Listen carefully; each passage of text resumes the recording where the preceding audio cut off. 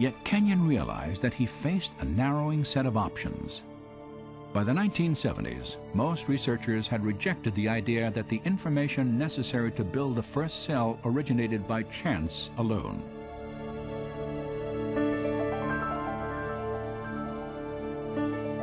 To understand why, consider the difficulty of generating just two lines of Shakespeare's play Hamlet by dropping Scrabble letters onto a tabletop. Then considered that the specific genetic instructions required to build the proteins in even the simplest one-celled organism would fill hundreds of pages of printed text. Of course, serious origin of life biologists did not believe that life had arisen by chance alone.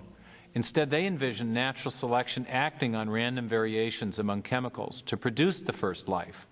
But there was a problem with this proposal. By definition, natural selection could not have functioned before the existence of the first living cell. For it can only act upon organisms capable of replicating themselves, cells equipped with DNA that pass on their genetic changes to future generations. Without DNA, there is no self-replication. But without self-replication, there is no natural selection. So you can't use natural selection to explain the origin of DNA without assuming the existence of the very thing you're trying to explain.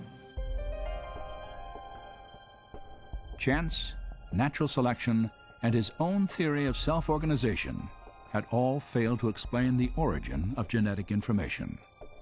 Now Kenyon saw only one alternative. We have not the slightest chance of a chemical evolutionary origin for even the simplest uh, of cells.